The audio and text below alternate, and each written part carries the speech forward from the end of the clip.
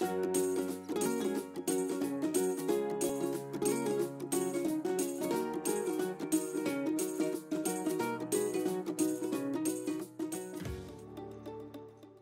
to my second doll customization video. I went back and forth on a concept for this doll. All I knew is that I wanted to use Gilda Goldstag's face. I think she has the cutest face mold and I've been dying to use her. I decided on a Capricorn. I'm going to use the Great Scarrier Reefs, Frankie Stein, Gilda Goldstag, and this silk.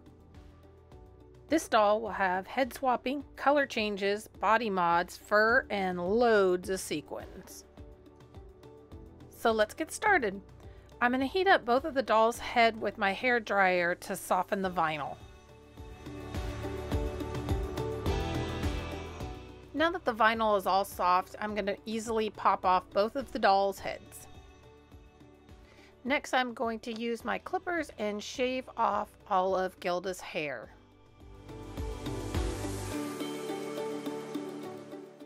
Scraping out all of that glue and residual hair, I'm going to pull it out with hemostats through the neck hole. Using acetone, Gilda's factory face and head color is removed. Because I don't need her for this project, Frankie's head will wait in my stock box until I have a use for her. Frankie Stein has neck bolts, so using my craft knife, I just removed those. Now I'm going to give her body a good sanding so it'll hold paint and such. A little bit later, I do end up removing those hip fins that she has. They just didn't really go with the overall aesthetic that I wanted the doll to have. And now she's ready for three coats of Mr. Super Clear. Since our body and head are different colors, I will consult my color wheel Using the opposite color on the color wheel, I can cancel or mute out the colors. Pink will be used for the green body and lavender will be used for the yellow head. I also used a little bit of green just to cover up the bolt holes. Excuse my lavender pan pastel, it's been through some things. I did two coats of the color canceling hues with MSC layers in between.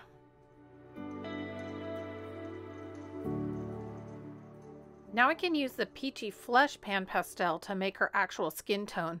I think each part received about three coats of this.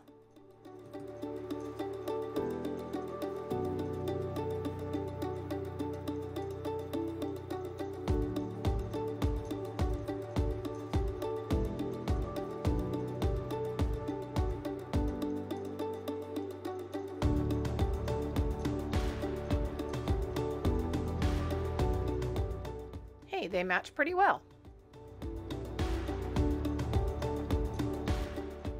On to her face up. I used a brown watercolor pencil to map out the shapes I wanted for her eyes. The brown's a little bit easier to erase if I make a mistake.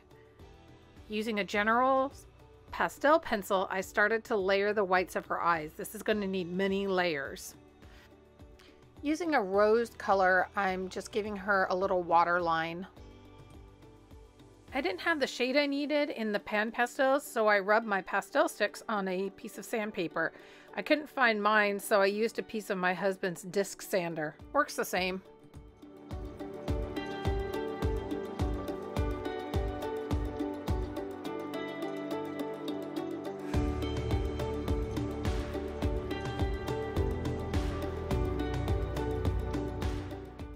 Bringing a little life into her face. I'm going to give her a little blushing on her cheek, her nose, and her ears.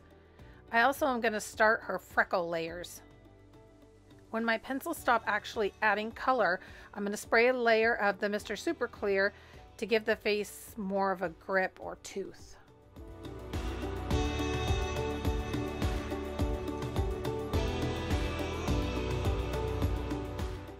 I'm going to start to darken up her eyeliner and give her the beginnings of an iris.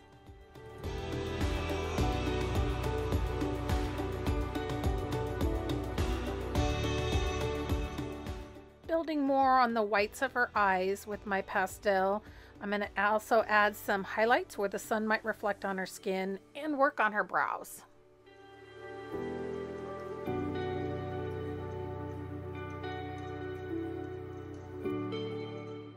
Some more highlights and color layers on the eyes.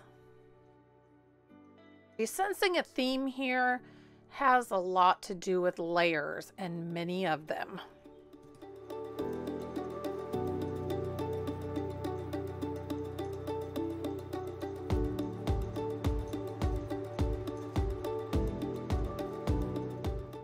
Some striations are added here in the iris in browns and taupes. Then her eyeliner and her top lashes are drawn.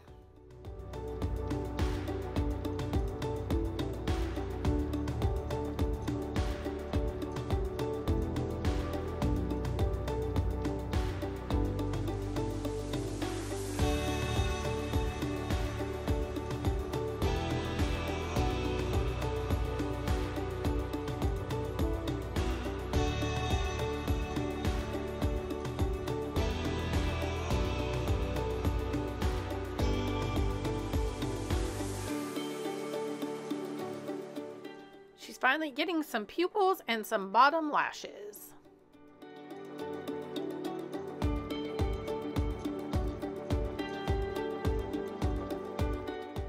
And some bottom lashes.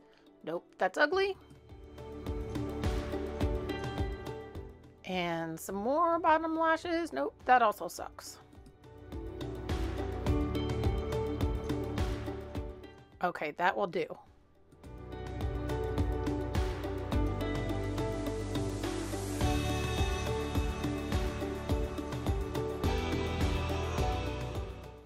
Adding some catch lights with white acrylic paint.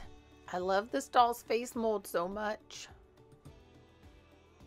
We are to the gruesome portion of this video. This elk is going to be donating his back half legs and his hooves. Chop chop. Then I'm trimming the hand to be able to attach it to each hoof.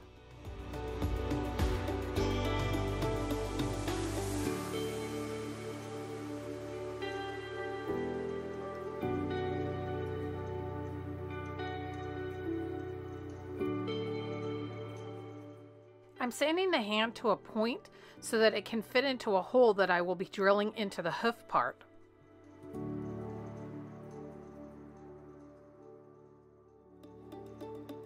Here's the hole that I'm drilling into each of the hooves.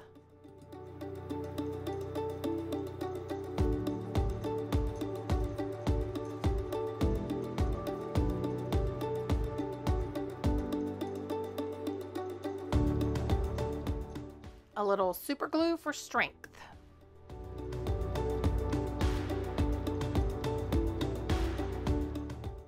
I need to make a smooth transition between my Franken hands and hooves. I'm mixing equal parts of epoxy sculpt and applying it to the area where the parts meet.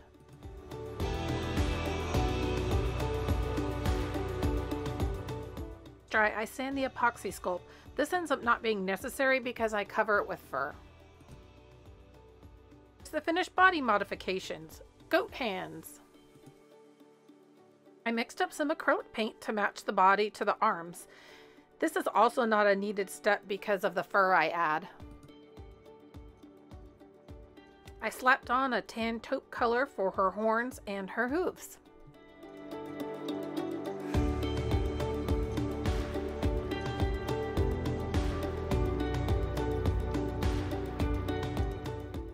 Once the paint dries, I use dark brown, khaki, and white pastels to give the horns and hooves a little more dimension.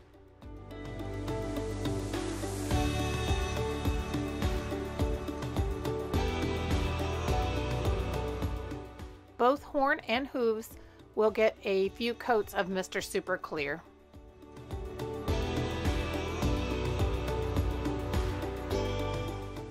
Off camera, I did use a dark brown watercolor pencil between the two nails of the hooves.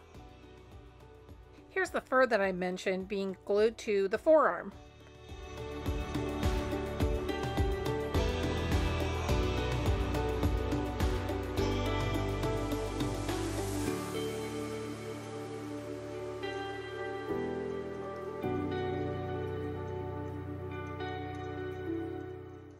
Use my comb and thinning shears here to trim the hair to make it look not so long and unruly.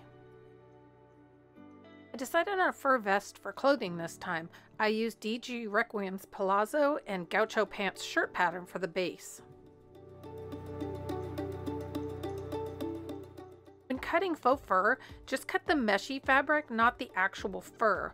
When it's pulled apart, the fur fibers will be intact and not look chopped.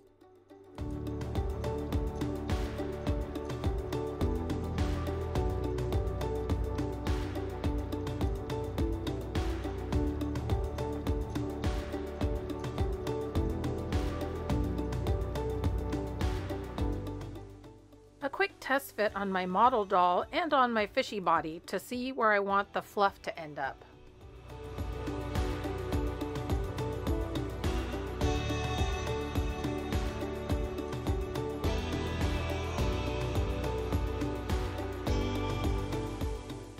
I ran a quick seam down the back portion of the vest.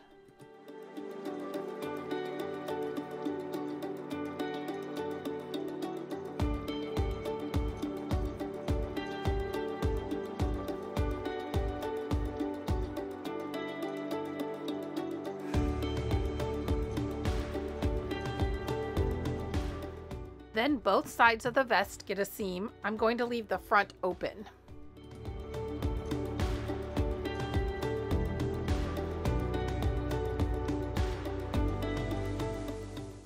I'm a pet groomer by trade, so shaping this vest with thinning shears was quite a lot like trimming a dog.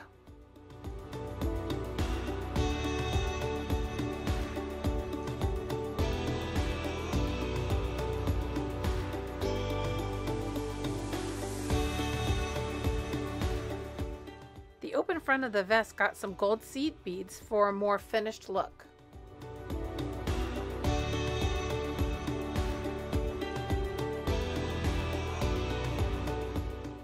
I'm going to gloss over the hair portion of this custom. My Voodoo Vinny video has a more in-depth look at my process.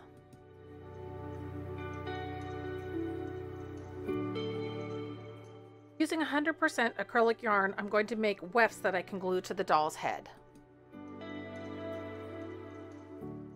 I'm just using hot glue to attach the wefts to the actual doll head.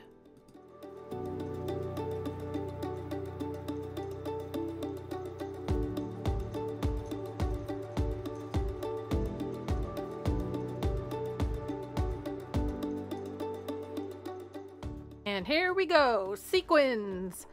I used E6000 glue to individually glue sequins on the whole tail of my girl. It was a very long process.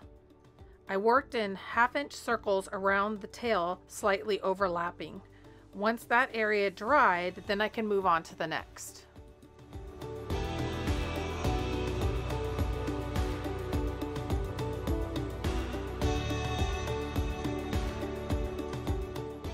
I'm putting on some sequins with E6000.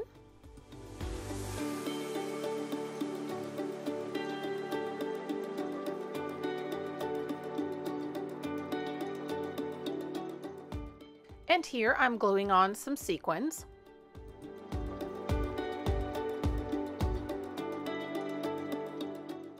And now I'm taking E6000 glue and I'm adding sequins.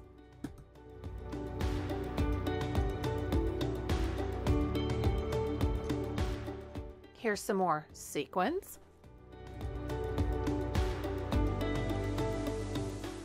And this may be quite a surprise, but here I'm using some E6000 glue to add more sequins.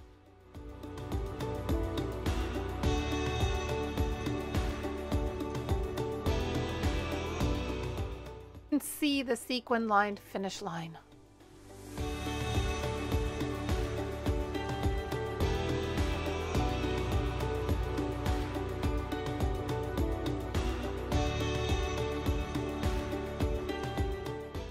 Ah, the last few sequins go on. You may have also noticed that I added a sequin bralette for her modesty.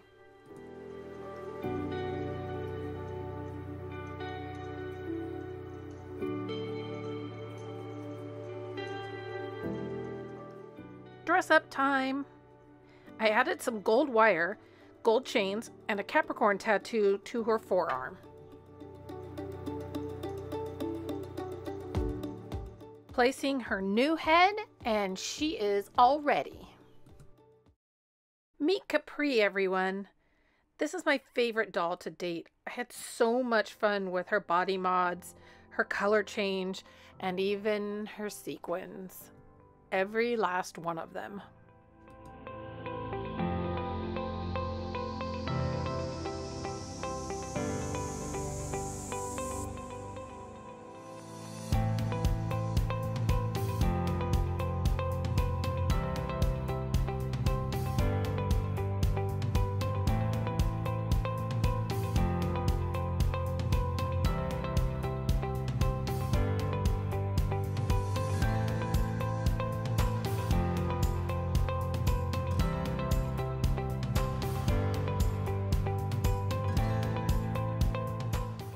Hoped you enjoyed my customization of Capri the Sea Goat. Please like, comment, and click the subscribe button to be notified of my future videos. Thank you and see you next time.